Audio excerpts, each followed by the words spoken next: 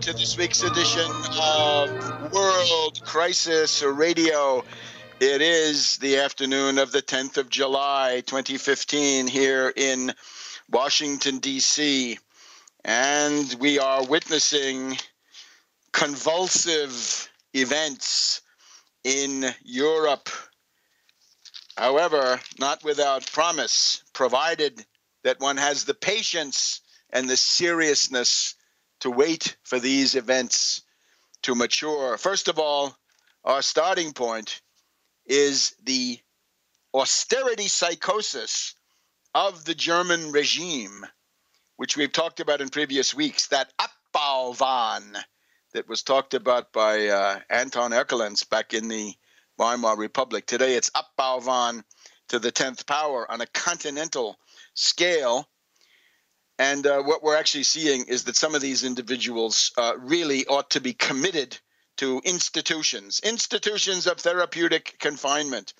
They are ready for the padded cell, the, the canvas blazer in many cases. First among them, the unfortunate Wolfgang Schäuble, who has now become a mask of cynicism, nihilism, and indeed hatred, tinged with, with racism against the Greeks, right? The typical North South uh, European divide. So, what do we hear from uh, Schäuble in the last uh, couple of days? We're told that uh, he says that uh, the it's true. He says the, the International Monetary Fund staff report says Schäuble is correct. The Greek debt is unsustainable cannot be repaid, and that's clear. However, then he says, because of the European treaties, it is impossible to grant debt relief in the form of a haircut. Wait a minute. You, Schäuble, already piloted an earlier haircut, which was designed to save the interests of Deutsche Bank and others that are your masters uh, and you're picking on Greece because they're small and weak and isolated, and you can play on this unfortunate German uh, attitude towards what they call Kanaken. Anything south and east becomes Kanaken, and you can see that's what's going through this guy's head. So we condemn that. Uh, and I would also point out, let's let's state loudly and clearly that the Treaty of Rome is not a suicide pact. The Treaty of Maastricht is not a suicide pact. And even the Treaty of Lisbon, which is a big step down from those, uh, each one is a step down from the previous one. Treaty of Lisbon is not a suicide pact. The European treaties are not a suicide pact. There's got to be some overriding principle. You have not been put in command of the European Union, you oligarchs and Eurogarchs, to lead it over a cliff. Even the very dubious and fishy Aristotle had a concept called epikeia, equity. You've got to try to save the epikeia or equity interest of the participants. And this means debt relief. 50% is your starting point, and then you can take it up from there. Now, Schäuble's mental instability also came to the fore in an event in uh, Frankfurt, where he said that he had received a phone call from U.S. Secretary of the Treasury Jack Lew, L-E-W, uh, and this time Lew was apparently talking a little bit of sense. Uh, just the fact that Lew calls him probably indicates that some arm twisting is going on. Well, give him the hammerlock and uh, and make him cry uncle. So what uh, Schäuble then told the group in, in Frankfurt was he had said to Lew, we Europeans, or we Germans, maybe he said, will give you Greece and we'll take Puerto Rico in exchange. And then the part that shows the growing insanity of Schäuble is he said, Lew thought I was joking.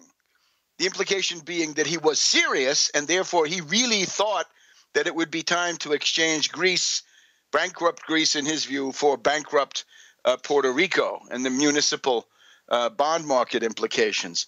Now, that indicates that Schäuble is uh, approaching a nervous breakdown or already going through a nervous breakdown. Let me lay down the party line here of the Tax Wall Street Party. We want Merkel out. It is time for what the Germans called a constructive vote of no confidence. Ein konstruktives Misstrauensvotum. I think the last of those were, what, 40 years ago with the Rainer Barzel of the CDU against Willy Brandt. Uh, we want it now by any and all members of the Bundestag. Hey, Linke, where are you? Why don't you bring in a constructives Misstrauensvotum? You got to break the ice somewhere. You look at something like Watergate, it takes a while to get these entrenched office holders out, but you got to begin the process. We want a vote of no confidence against uh, Merkel and her out. Uh, remember, at the same time, in, under the German system, because of the Weimar experience, you've got to specify who should be chancellor. In other words, if you want a chancellor out, it's not enough to say we all agree he should be out or she should be out. You've also got to get everybody to unite around a successor. Fine.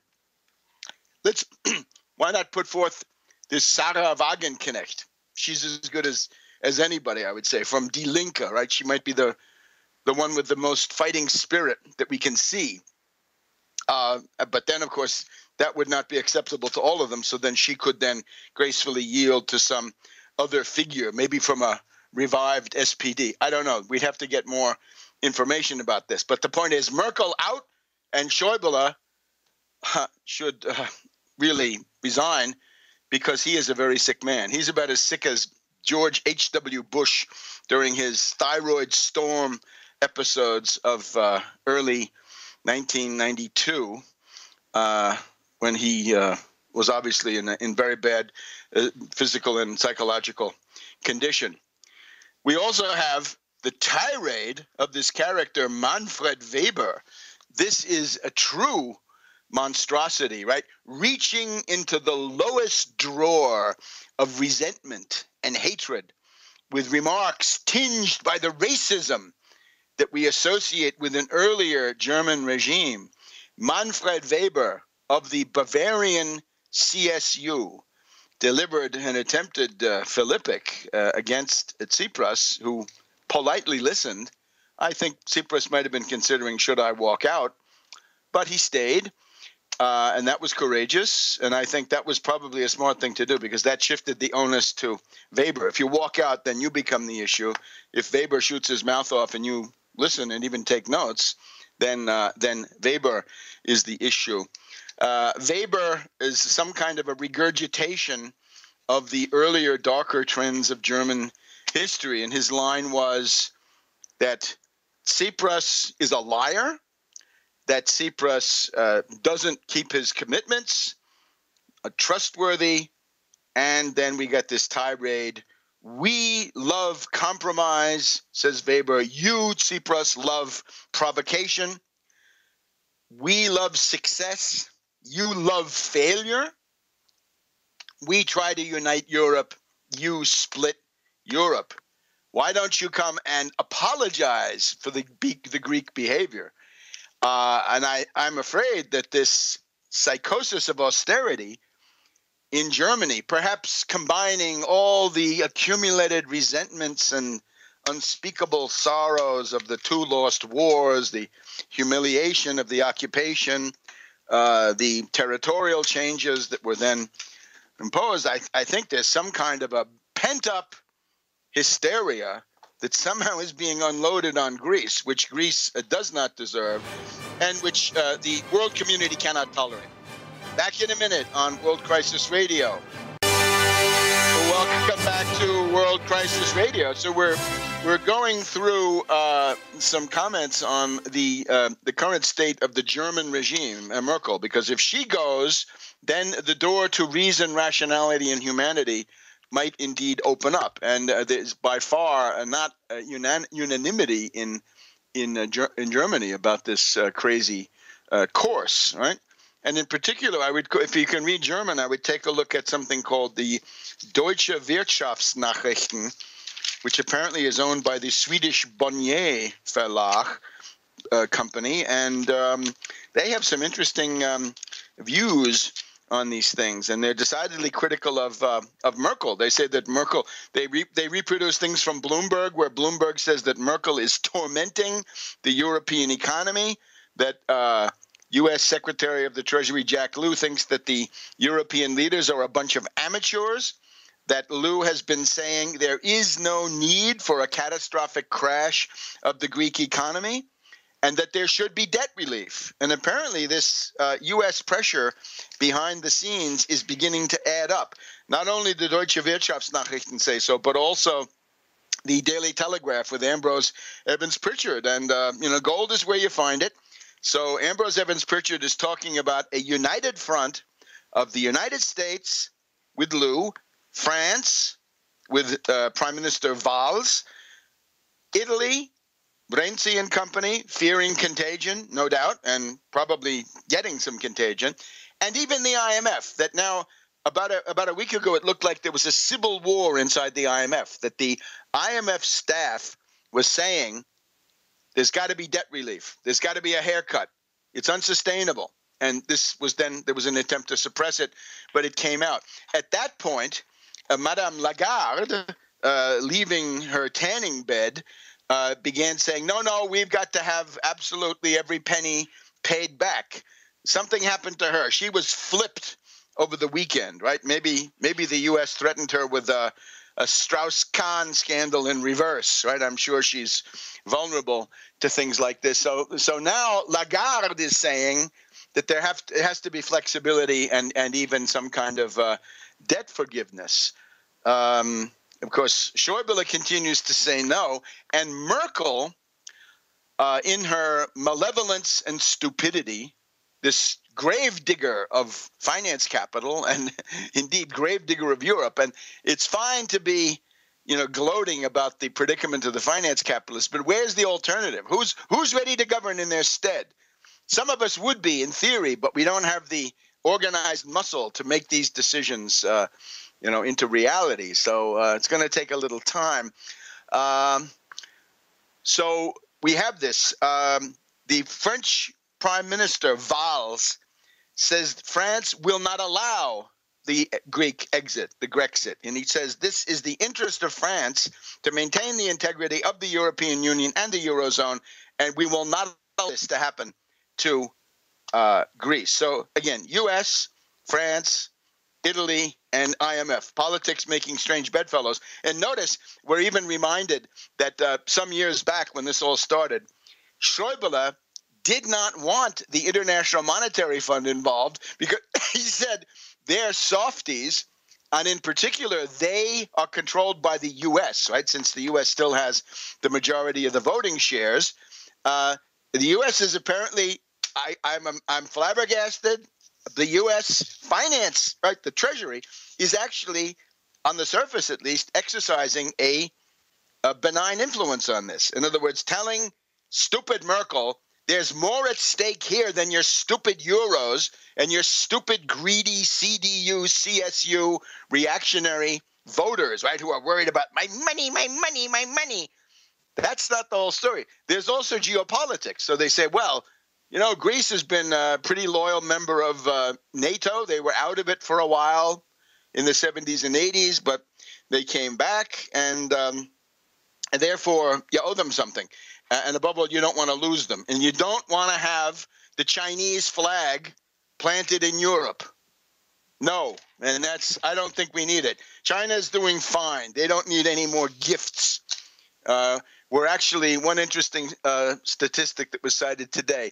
Lehman Brothers, the Lehman Brothers catastrophe, gave the Chinese a 10 year bonus in overtaking the US. 10 years were thrown away and continue to be thrown away by this lunatic, rotten US regime of finance capitalists and their minions and the two political parties. These people, you look at those Republican, I think we're up to 17 Republican faces.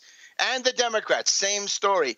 They tend to guarantee Chinese world domination in the short run.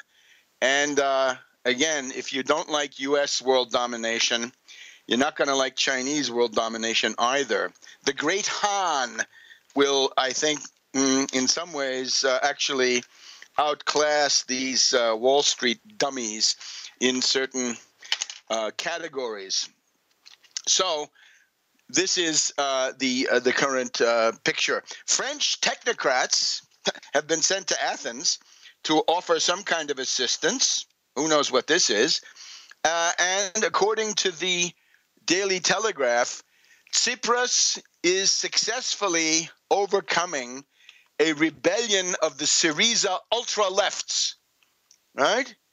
Uh, there, there are, of course, uh, the KKE, these wonderful guys, the KKE, who never had a positive proposal in uh, in decades. The anti-austerity dem- uh, demonstrators, right, as if on call from Berlin, are uh, protesting outside the Greek parliament in Syntagma Square, and they're still against austerity. That's fine. We'll talk about this later. Uh, we're going to talk about Lenin at Brest-Litovsk, or Lenin's reaction to the Brest-Litovsk negotiations with Germany, and what it means when you're facing a determined enemy who can destroy you, how you have to maneuver, how you have to temporize, prevaricate, play for time, deception postures, and all the rest. And in those days, it was Radek, ultra left, and Bukharin, who soon became the ultra right. So I'm going to talk, what's going to say, revolution speak to the various people who are telling us that uh, that it can't be done. So uh, we're told uh, that um, the left platform uh, is this would be the hard left wing of Syriza. They have finally agreed to back Tsipras as of what uh, six thirty in the evening European time today, uh, or maybe it's even four thirty European time. Uh, so they're they're supporting Tsipras, right? And um, five rebels are rejecting the terms. The other 65 will vote yes, and there will be enough votes from other political forces to pass it. So uh, that's what you have to do, and we'll we'll put that in perspective uh, from the Greek angle and also from the historical angle. Back in a minute. Welcome back to World Crisis Radio.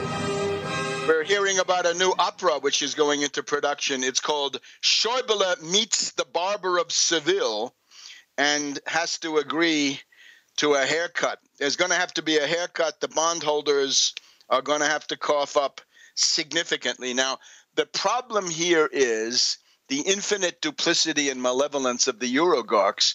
We are told that the austerity proposal for Greece uh, is it does not include as an integral part this uh, issue of the uh, haircut. Right now, Merkel said we can't do a debt write down. We can only do other things like lower the interest rate, prolong the maturities, do some other things. Um, it's going to take uh, the full 1953 treatment, which Germany enjoyed, notwithstanding the Nazi crimes.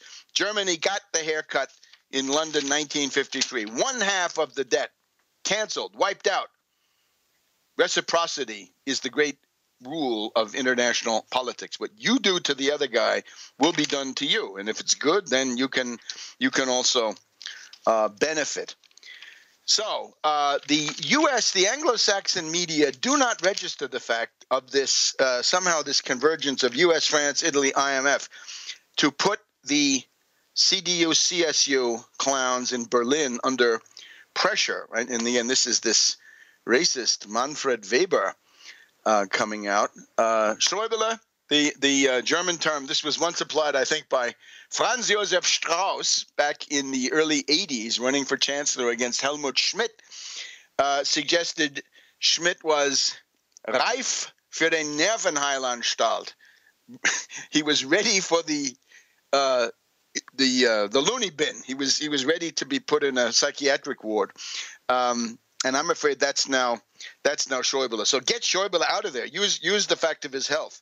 Um, we're also seeing crazy stuff in the uh, the bad guy coalition. Right, the uh, we've got this Polish uh, member of the European Parliament, a guy called Janusz Korwin Mikke uh, who gets up. He's protesting something about tickets, and he goes through. Uh, he mouths a couple of slogans, which are themselves regurgitations of the NS uh, time, and then gives the Hitler salute on the floor of the European Parliament. And the uh, Polish foreign minister has had to uh, to respond to that. The big day was Thursday when Donald Tusk, who is a stooge of Merkel, uh, came out and said, well, uh, if the Greeks are reasonable and allow some further uh, austerity measures, then we have to turn our attention to the creditors, and they will also have to step up to the plate and make uh, some sacrifices. Now, here's my advice to Syriza. Play for time, gain time, maneuver, prevaricate, temporize, do whatever it takes. Merkel and her CDU CSU, she's supposed to be this, uh, uh, what can we say, Empress Theodora of Europe. The CDU CSU is a minority. They can't form the government by themselves. They rely on coalition partners. Try to break that coalition.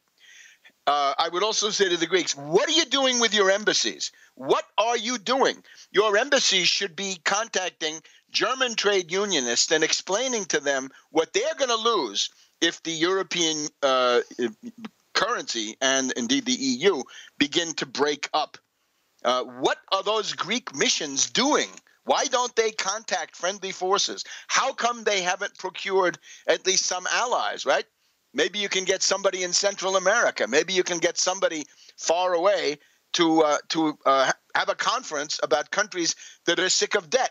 Why doesn't Greece begin to lead a group of African countries who are crushed by debt, um, and uh, and some others, right? Maybe you, there are various candidates. We don't need to uh, to mention them because some then some of them freak out. Uh, Merkel is vulnerable. We could get a, a vote of no confidence against her.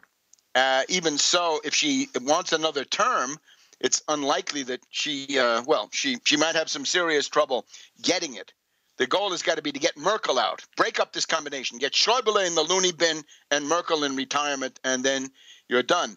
Uh, use the fact that you've split the French German alliance. My God, this is a big deal. As long as you had France and Germany on a full lunatic austerity line, the situation was grim. And instead, right now they're split. You've also succeeded in playing the U.S. against Merkel on this issue, right? Merkel is saying money, money, money and the U.S. is saying geopolitics, geopolitics, geopolitics, and that is going to prevail. As again, Ambrose Evans Pritchard is talking about the, you know, the awesome power of the U.S. diplomacy. Well, at least it does count for something. Uh, and now finally, Lew has made his voice heard uh, a little bit. How about this? Make a deal with Merkel and have some debt relief built into it.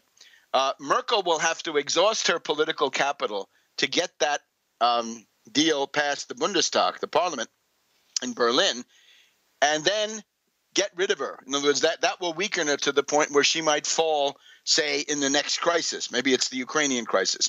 Play for time.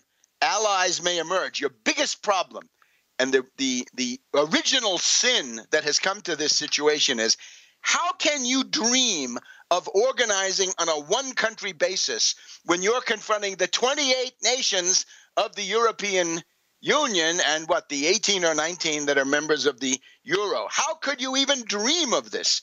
When I started organizing in Europe in 1970 71, it was clear it had to be a European wide effort. And I started it in Germany, co founding an organization there, then going on to Italy and founding an organization there with my two hands, crossing the border with nothing no money, no nothing, just the old noggin and two hands. Uh, therefore, uh, you know, then you got to spread it from there, right? Why aren't you holding conferences? Why aren't you reaching out, right? Break with this narrow chauvinism. I think this is a real factor in the situation. So, uh, reach out to Spain, reach out to Portugal, try to try to get involved in the um, political process there. Those might become friendly states. Then the other question is, will the collapse spread? Well, China is down one third, right? Stabilized a little bit at the end of the week. Um, that's already something, right? They said, well, they're they're sort of isolated and fenced off, but uh, no. Um, 3.5 trillion dollars of losses in China, plus 1.5 trillion or 2 trillion over Greece. The, the uh, world uh, financier oligarchy has taken it on the chin to the tune of five to six trillion in the last month or so. That's those are big bucks. Ukraine may blow. Then you get in there and you say, "Oh, I see you're giving debt relief to Ukraine, who are not members, who have never done anything." and we're not going to get it, then you appeal to the smaller Eastern Europeans and say, look, that could be you, right? Something goes sour, goes south on you. You're going to want help. And these ugly Germans are going to say no. You, Merkel is going to say no, uh, and so forth. Um, and behind Ukraine, of course, remember Argentina, Venezuela, and others that we haven't been mentioning, but which are prominent on the list of these uh, brokers. Now there's also the BRICS, right? In other words, play for time and maybe conditions will improve. I think they are for a country like Greece. They will improve. The BRICS. We have an anti austerity measure, a message coming out of the BRICS. The South African Trade Minister, Rob Davies, says it's time to end the policies of mindless austerity. Good. That's exactly it. We're told by Putin that the Iran sanctions must end. How can you expect Russia itself the target of NATO and U.S. sanctions to continue on this uh, Western line of uh, attempting to quell the Iranian peaceful nuclear program. Putin has now said it's time for Iran sanctions to end. But in the middle of all this, the BRICS the BRICS have been meeting. The, the Shanghai Cooperation Organization, I believe, and, and the BRICS have been meeting in Ufa, Russia, Start making loans. Start making infrastructure loans to Greece. Back in a minute on World Crisis Radio. Welcome back to Crisis Radio. Webster Tarpley reporting from Washington, D.C. Now, we want to go to Athens just a minute and get a direct report. Let me just um, set the stage a little bit. Uh, the London Daily Telegraph, Ambrose Evans Pritchard reported last Sunday, right after the successful no vote had won the Greek referendum, which was a great international event, that there was a more radical force inside Syriza that wanted to seize control of the Bank of Greece, use the physical capability that they have with the plates and the printing presses to print 20 euro notes that would be real euros, not funny money, and they would justify this with the emergency clauses of the Lisbon Treaty, which apparently say that if Frankfurt uh, doesn't answer, you can go ahead and do it yourself, and at the same time take that to the European Court and also uh, impugn Draghi for dereliction of uh, duty. And the story then was that um, Varoufakis was more in favor of a uh, California 2008 IOU system, which I believe was done under Governor Schwarzenegger, unless I'm very much mistaken. Uh, so that would have been another way uh, to do it. And that, of course, was then followed by the um, unexpected resignation of Varoufakis. So uh, de- there's a debate inside Syriza, and right now, as we speak, there's still, I believe, still a debate in the European Parliament. The uh, international uh, meeting, uh, media say the left platform, that is the, the left wing of Syriza, has now, by a big majority, said they will support Syriza. There are five uh, people who are going to vote against it, but uh, looks like it uh, it's going to go through. So let's get the background on all of that from Michael Chiotinis in Athens. Welcome, Michael. Hello, Dr. Tarpley. go right ahead. Um, yeah, you see, the only thing, the, the funny thing is that this uh, thing about printing 20s and getting control of the central bank, of the Bank of Greece, was never reported uh, nowhere uh, in the Greek media. Uh, the only thing that we heard on this is that Varoufakis was going to use the option of the IOUs um, for a short period of time, uh, up until uh, I don't know, just to keep negotiations going without blackmail. And we also uh, heard that Varoufakis was the one that wanted to use legal action against uh, the European Central Bank. That's all that was reported.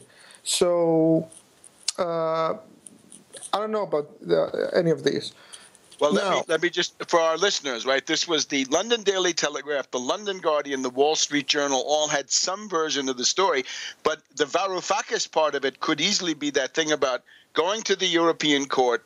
Draghi is derelict because he's not providing liquidity. And you could then use the emergency clauses of the uh, the Treaty of, of Lisbon, right, some years back, and that would be a state of emergency, and you could begin to print liquidity. Like, like suppose the Russians took over Frankfurt, right? What would you do? Yes. You'd have to yes, print, right? Yes, of course, but that w- that would take time. The legal actions would uh, uh require uh, time, and liquidity was running out. So he had to use some kind of liquidity. So maybe that's where the IOUs come in. But the thing is that the the this route was. Um, shown uh, to be uh, the road to an ex- to a Grexit, towards a Grexit.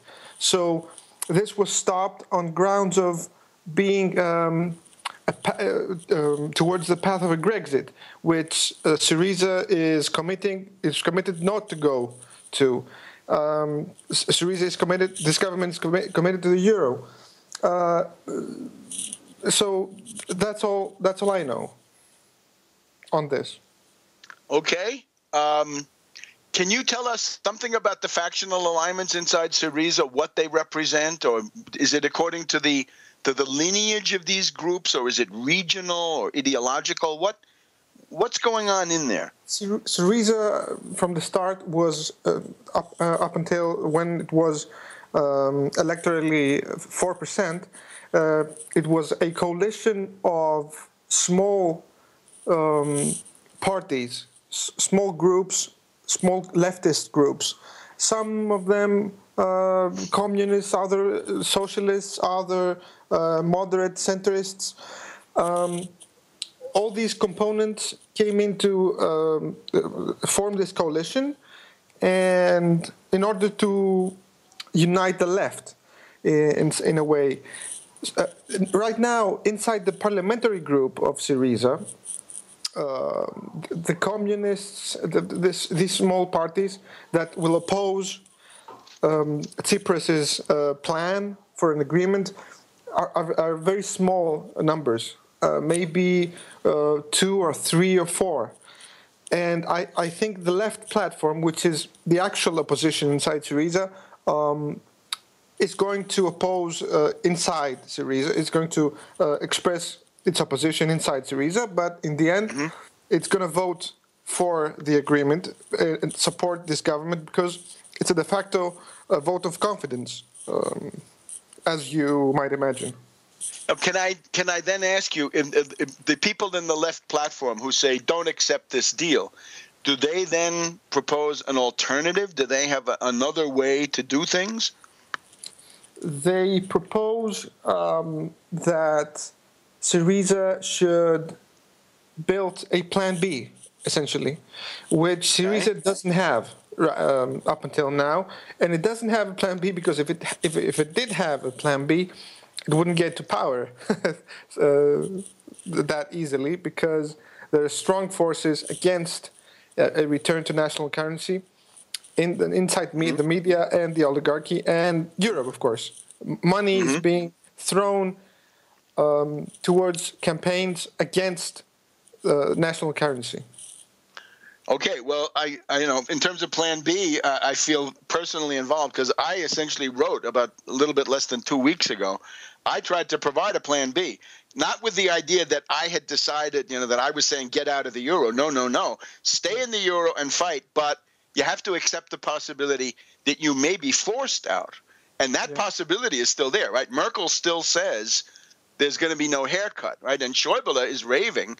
Schäuble is talking in riddles. He's like the Sphinx or the the Cumaean Sibyl, right? He he doesn't know what he's doing. He he should be in the in the in the hospital, but uh, you got to be ready. However, if you do have a secret plan B, that makes you stronger because then you can say to Merkel, say, look, we are ready to live without you. And therefore, why don't you back down Merkel? How about this? Does the Greek press say anything about U.S., France, Italy, and IMF pressuring Merkel? Yes, of course. Um, okay, tell us how they see it.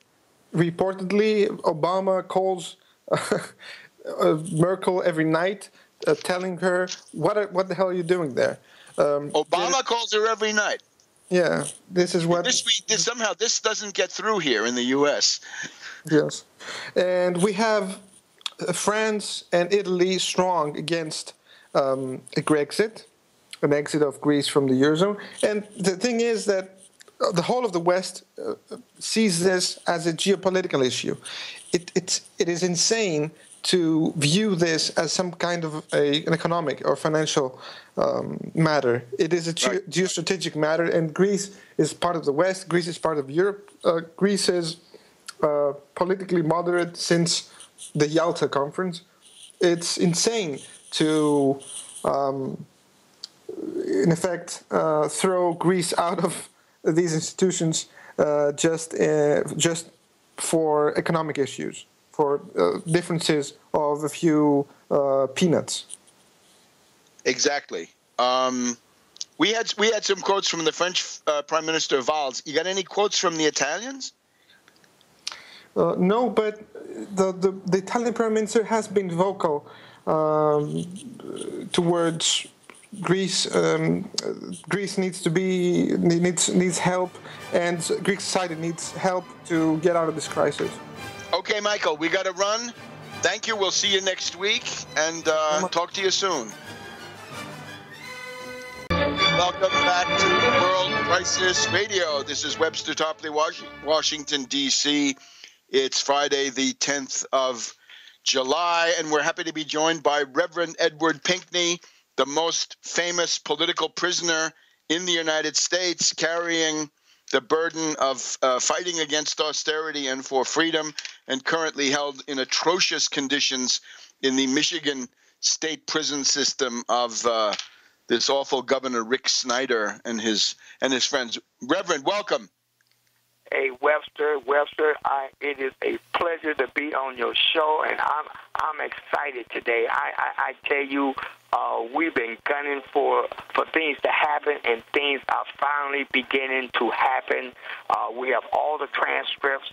At this time, we have filed for the appeal bond on Monday. So I'm Webster. I'm I'm excited. I'm looking forward uh, uh, to to talking to you uh, uh, uh soon, or even maybe in person very very soon. And I tell you this much, Webster. I am truly, truly, truly excited. I tell you, as I said, the appeal bond has been filed. It was filed on Monday, and we're going to continue to to monitor it and uh, do the things that need to be done. But here, I, I really need the help of all your listeners right now because we need to get coverage. We need to get media coverage because they're going to be doing everything within their power to make sure that I do not get this appeal bond. And if you know anybody who works for the for for any newspaper, any, I don't care where it is or what it does, we need you need to contact my wife at two six nine 925 0001. That's 269 925 0001 because we need the coverage so we can out outlast them. That corporate media is going to be targeting me to make sure that I do not get this appeal bond. So they're going to be doing their job, and we got to do our job because I believe in fighting back at all costs. Okay, Reverend. Now let's let's maybe get down into a little bit of detail. We're going to have a, a, legal opinion, I believe, in the next uh, segment. But what you're doing is you're applying to be out of jail, on bail, uh, pending the appeal, and that's going to go Monday.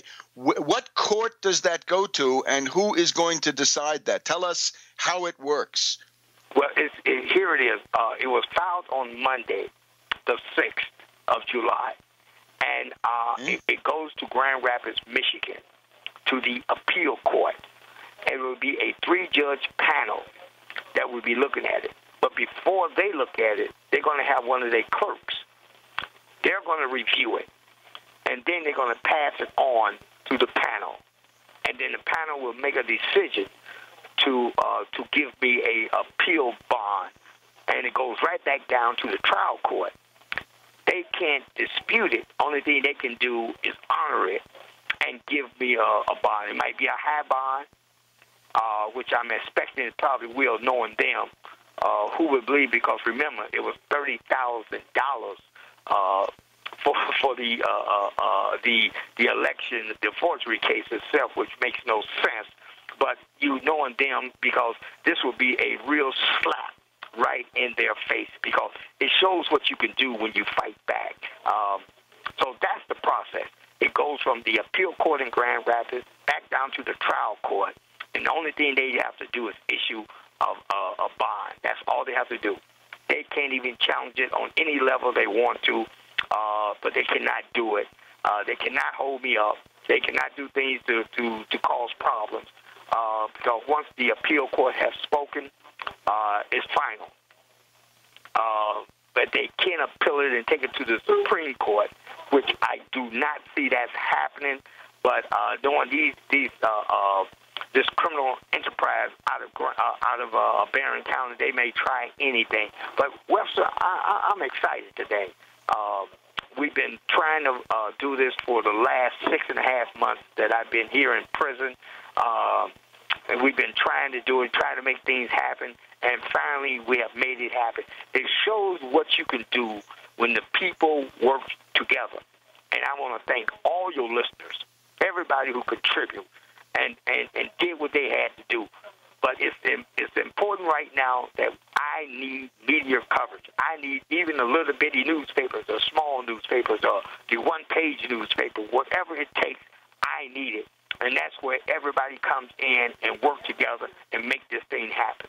So, Webster, I am excited today. Even though I'm still locked up in prison, even though I still have to eat this food, even though that every day is a thing, is a challenge here, I'm prepared to take it to the next level. And it will not end the fight. It will make me stronger and make me a better warrior. That's what it's all about.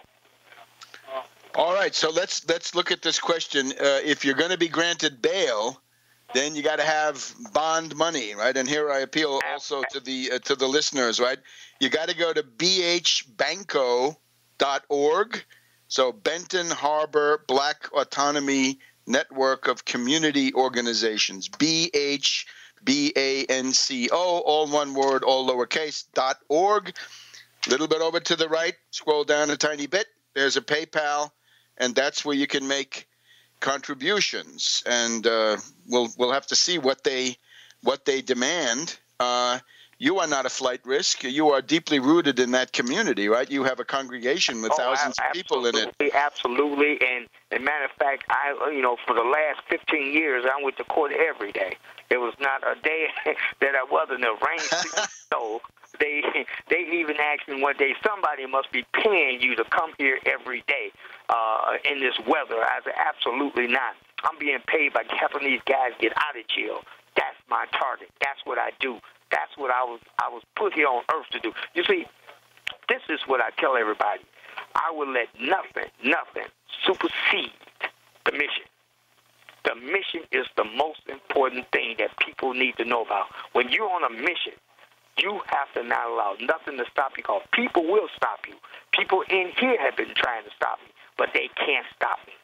Because if they get in my way, I'm just going to run them over. That's what that's what's going to happen. Because I, I tell you, we got a job to do. We got to make sure we're doing the things that need to be done, and we got to make sure that we're staying focused and doing what has to be done. Webster, I, I tell you, it's been an honor and a privilege to be on your show. You you have really, really, really, really, really been been just wonderful, and I'm, I'm so proud to just to say that I have been on your show and doing and, and, and, and you're doing the work that needs to be done. But I definitely need you to give me some media attention. I got to have that attention. I got to have these folks uh, because they're going to have theirs because they're going to have Whirlpool supporting them, and they're going to have all the evil, evil, wicked people they can. But we have to make sure we're doing what we need to do. So that's how it operates, Webster. Reverend, I I also look forward. I think when you're out, out of jail, right, when you're on bail, you could then begin to write some of these accounts that you've been giving us from week to week about the conditions inside this prison industrial complex, the mass incarceration of poor black, uh, Latino, Appalachian people, and the food. I, have seen some of your reports about the maggots in the food coming from this um, this uh, corporation that runs oh. this entire thing, oh, right? Aramark. Uh, Aramark. Mm-hmm, mm-hmm. And uh, we hope you could sit down and uh, and dictate some of this, right? To get get it oh, get I it uh, get it out. Yeah, well, so you know, I'm actually looking forward to it, and people need to know exactly what's going on. See, they are supposed to be closing this uh, facility down, uh, this facility itself, but here, here they're putting in three million dollars worth of windows. You have one minute remaining. But also, they're hired. They hired about 30, 30 correctional officers for this one place here. Who would believe that if you if you're planning on closing this baby down, why would you put new windows, try you know try to uh, revamp everything and then close it down? But listen, I only got one one one minute left. I'm afraid that our, our hard break is already coming in, Reverend. So bhbanco.org, and we wish you the very best in the appeal on Monday. Welcome back to World Crisis Radio. Uh, Webster Tarpley here in Washington. Now, we've just heard from Reverend Edward Pinkney, America's most famous political prisoner. And now we would like to get a uh, legal overview of the same uh, complex of problems. We are honored to be joined by Jeffrey Jackson, Esquire of Texas, who is a leading foreclosure defense attorney.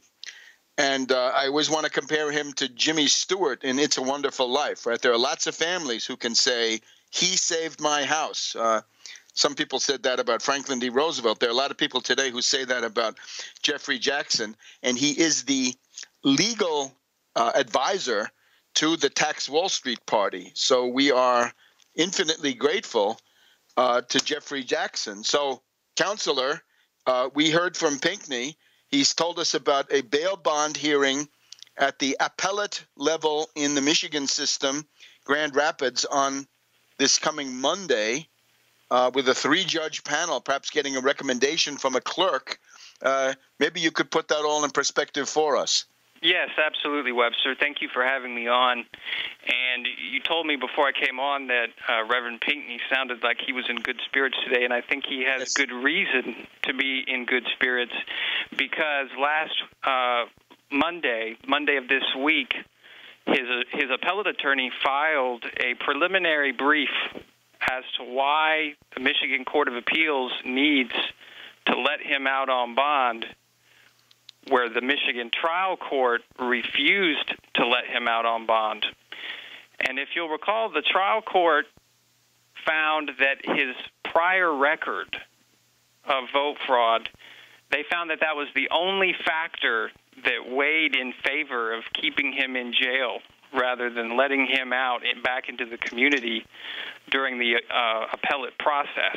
Every other factor weighed in Reverend Pinkney's favor his longevity in the community, his ties to the community, and whether or not he was a flight risk.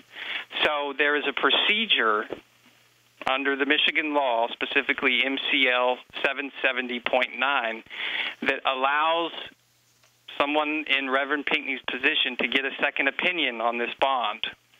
What's taken so long is that when you make this appeal for bond to the Court of Appeals, you have to show essentially a likelihood of success on the appeal itself. So this mm-hmm. has necessitated several months worth of briefing, essentially a preliminary brief that looks a lot like what the final briefing is going to look like. So the two best arguments were briefed, and those arguments are that there was insufficient evidence to support the conviction, and that two, there were blatant violations of the rules of evidence, particularly Rule of Evidence 404B.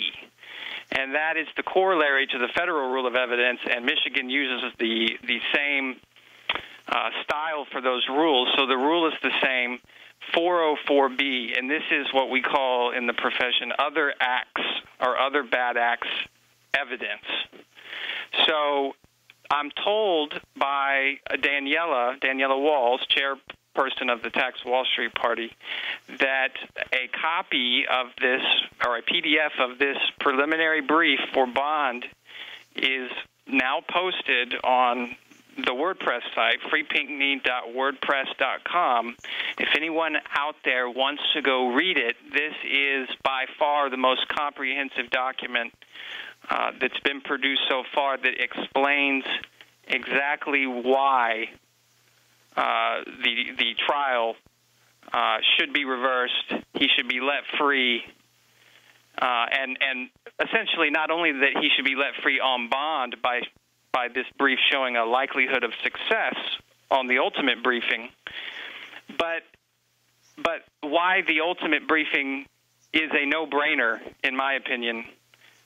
Uh, that the trial should have never taken place and that the conduct of the trial was completely in violation of Michigan law and the rules of evidence.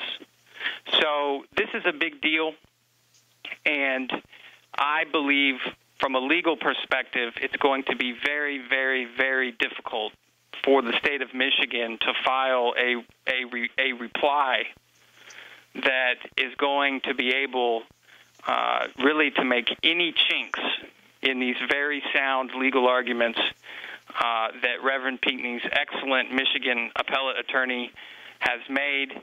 And there's a lot of people behind this brief.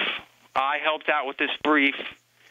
The ACLU in Michigan helped out with this brief. And so the I'm I'm I'm very confident in the legal team behind this appellate work. And I believe, I believe that um, it's it's it's going to become clear when the Michigan Court of Appeals starts to rule in Reverend Pinkney's favor that the Berrien County prosecutor uh, really only brought this case because it was Edward Pinkney. What we've been arguing all along that the only evidence presented that tended to show his guilt in any way, shape, or form uh, was evidence that was inflammatory, prejudicial, and completely improper. They tried to prove his guilt by just proving that he had historical animus to government officials and to Whirlpool. And you cannot, you absolutely cannot use his prior political acts as evidence to show that he changed dates on petition forms that cannot be any evidence. And that's the only evidence that they produced with any substance. And I think what we're going to have here is is is we're going to be able to form the ultimate conclusion that they knew they didn't have a case and they brought it as a punitive measure because even if they knew they'd probably get reversed by the Court of Appeals, they've still managed to essentially get what they wanted, which is Reverend Pinkney convicted and and wrongfully put in jail now for I, gosh, I don't even know how long it's been now. Reverend said uh, six six and a half months on the current uh, stint.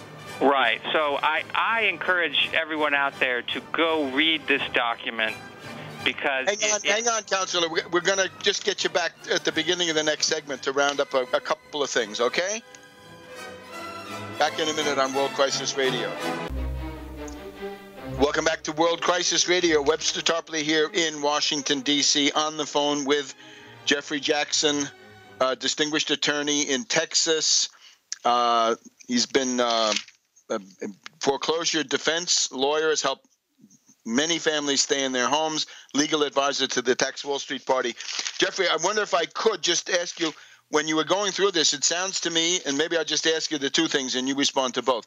It sounds like you could make a case for selective and vindictive prosecution, and that they were also simply doing a kind of character assassination in the court, saying you're a bad guy and therefore we'll put you away, something like that. Right, right. That's exactly right. Um, I'll answer the, the, the second part first. It's very clear that you have to have some direct evidence that he changed dates on petitions. That was the charge.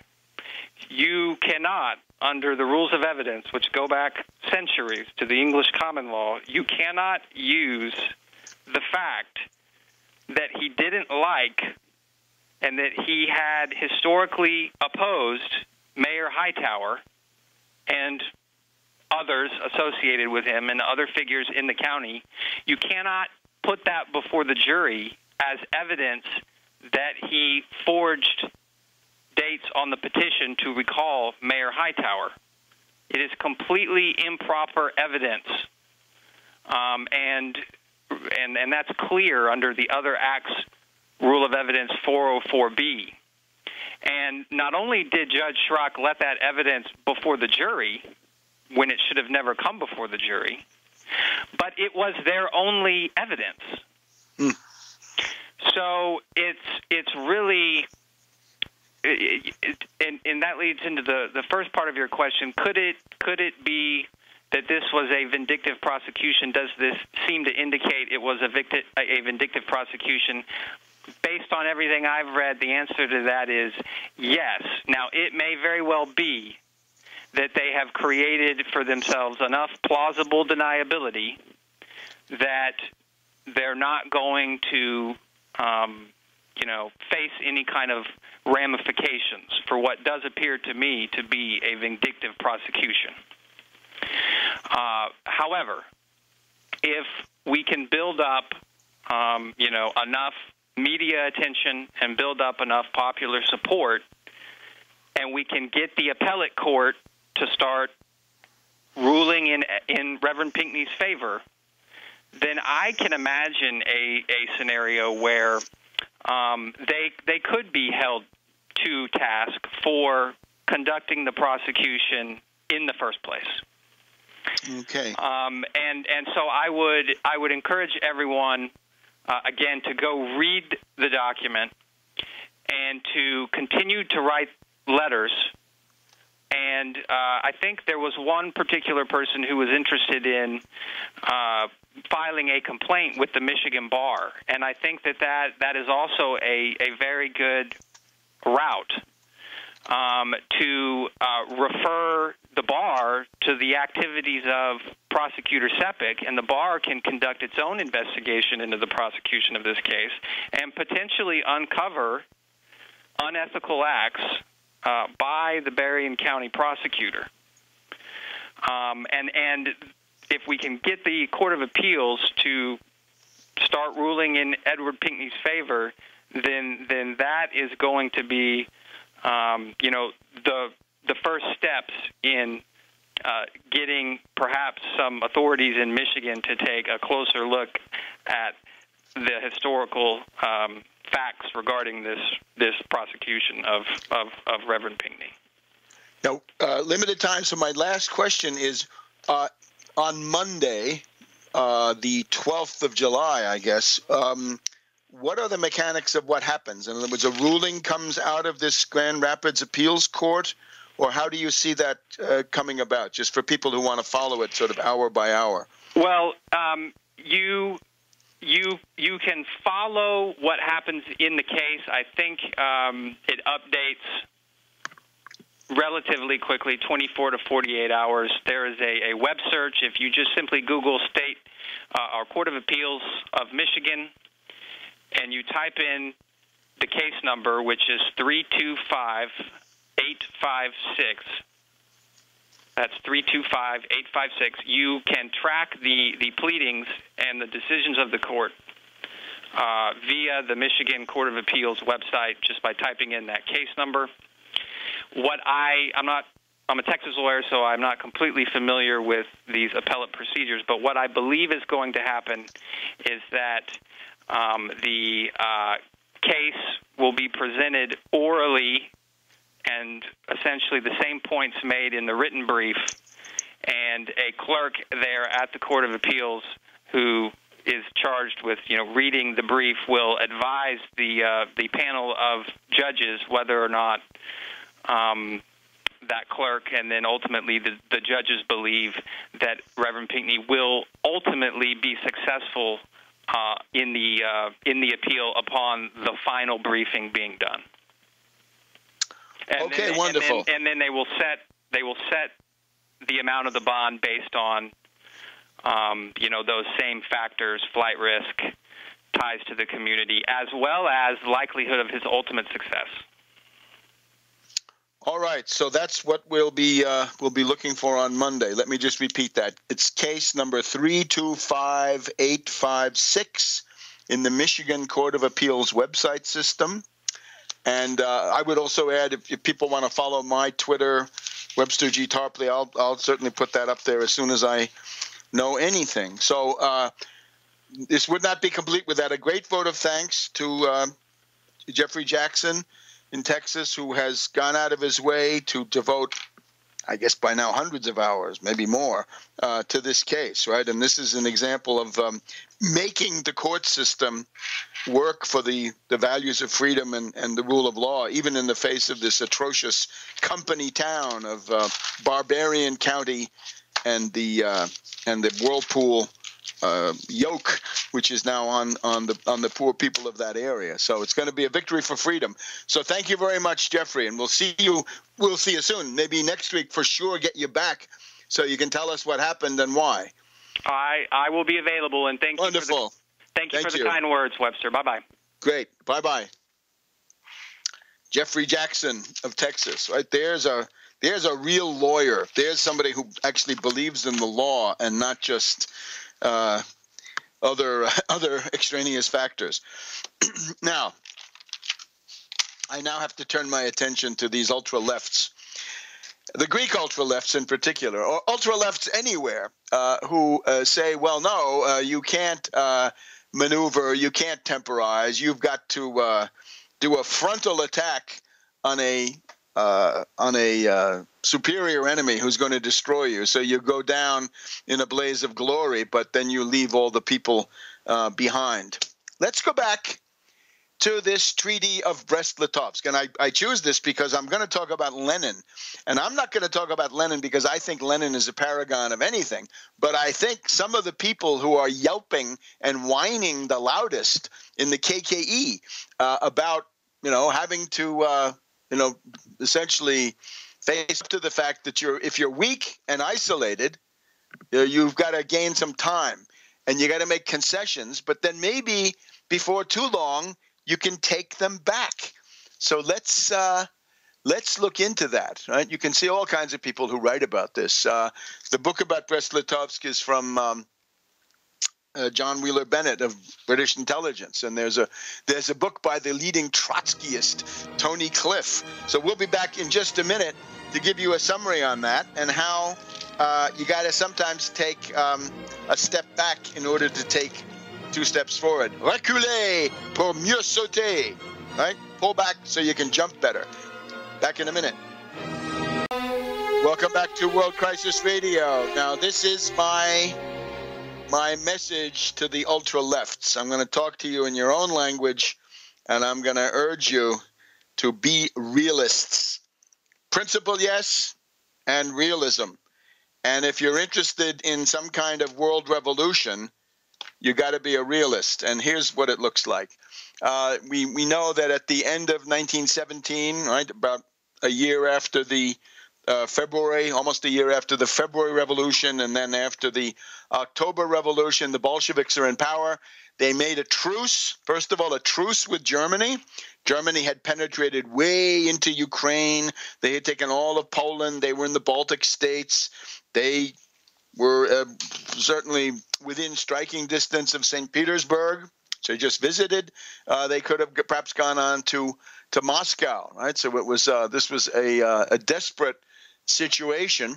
And therefore, there was this negotiation going on at Brest-Litovsk, where you had uh, all the parties, right? You had Germany, you had Russia, you had uh, this Ukrainian puppet state of the Germans, you had the Ottoman Empire, you had Austria-Hungary.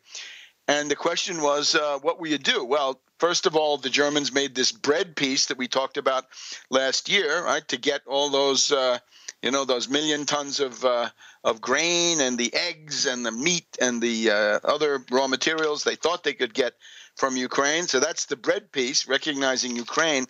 But then there's the question: uh, Will the Germans break out of the truce, the armistice that had been set up, and will they continue on the road to St. Petersburg and then maybe Moscow? Um, so, got to put it in a nutshell. Essentially, the German terms were extremely draconian, and Lenin, I think, act, acting as a realist, and again, not wanting to endorse Lenin, and certainly not wanting to compare Tsipras to Lenin or anything of that kind, but simply wanting to do a lesson of realism. It was something like this March 3rd, 1918, the signing of the Treaty of Brest Litovsk by this agreement, Russia lost 34% of her population. 34, one third of the entire population. 32% of her agricultural land. 85% of the sugar beet land. 54% of industrial firms. 89% of the coal mines. Now, that is draconian. That is so shocking that the uh, when these these terms were formulated by Ludendorff, right, the proto-Nazi, the guy's going to become the sponsor of Hitler, taking part in the beer hall putsch of 1923.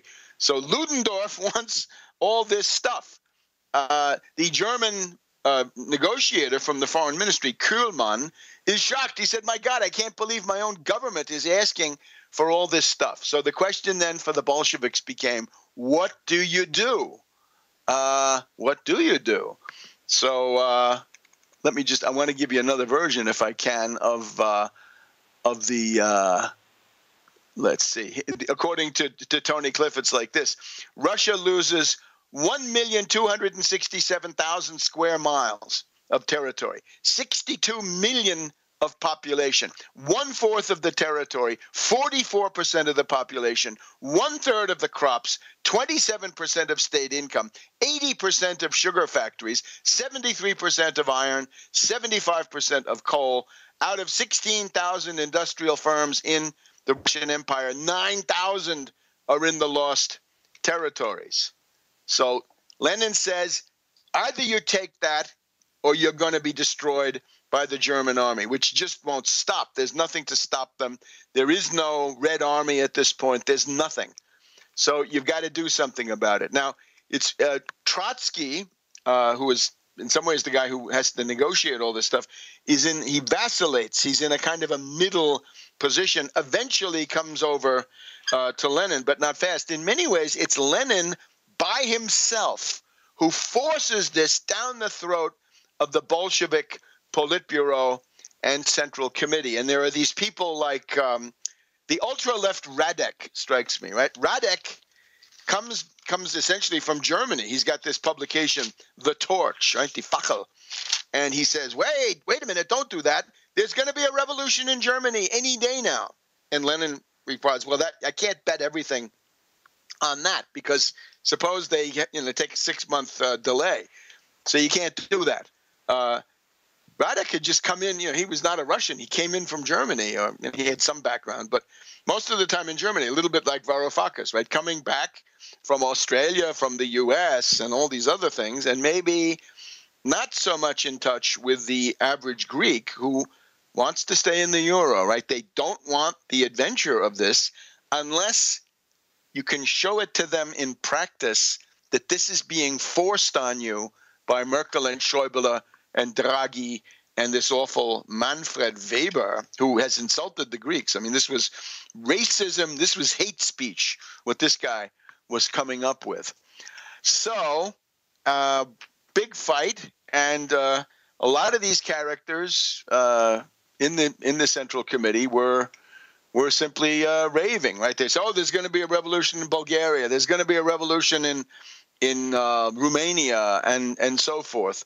So uh, you can't bet everything on that. And there was a rebellion in the St. Petersburg Communist Party, Russian Social Democratic Labor Party, Bolsheviks. Um, Bukharin, Radek, Uritsky, um, others. Uh, Preobrazhensky, what a shame. Kolontai, um, Lomov. Uh, a lot of them were in this, uh, you know, we got to fight the Revolutionary War, except uh, there's nothing to fight with, right? And the German army is very formidable. So when you're dealing with that, you got to temporize, you got to maneuver. And then what happened? Well, interestingly, the Germans then collapsed seven months later. By gaining time, you put yourself in a position where you can take back some of this. Now, the ultimate disposition of the Russian border depends then on the Russian against Polish war of 1920. Uh, but if that had gone differently, the Russians might have been able, the Soviets might have been able to take back more of Poland, uh, more of Ukraine, uh, the Baltic states. Uh, they might have um, solved that problem. So, in other words, they it kept open a lot of possibilities. As it actually happened, the Germans left, and then this belt of new independent states, weak states, Poland and so forth, emerged. Uh, Ukraine did not remain uh, independent, so that problem was solved. And, uh, and what you then had was cordon sanitaire, right? So a belt of weak states between uh, Soviet Russia, Soviet Union on the one hand, and, and Western Europe on the other. But uh, by the time then of the Molotov Ribbentrop Pact, uh, 1939, they got back a lot of that. Russians did. And by 1945, they got back all of it. Now, I'm not proposing you have to wait 25 years to get anything back. I'm simply trying to say Merkel is not strong. She's a minority. She's looking more like a lame duck. We're told that there are fights between Merkel and Schäuble, that they don't get along. A little bit like Varoufakis, right? Schäuble has been has been out there uh, in the in the midst of the fray, but he's also been eased out of some of the negotiations. And there's a lot of hotheads in there. With the pressure of the U.S., right? What we're hearing, U.S., France, Italy, and even the IMF. Amazing. When you're in a position where you think the IMF is soft, then you can see how how far out on a limb this Merkel Schäuble clique or Merkel clique has actually uh, gone. So um, that's what I would recommend. The example of the Treaty of Brest-Litovsk is that if you uh, want to survive, you got to survive, and uh, has to survive. The big problem is get yourself some allies, get countries get money, get. We're going to be on your side. That's what the time also has to. Organize internationally. Not that'll never be enough. Back in uh, next week on World Crisis Radio. World Crisis Radio coming your way next.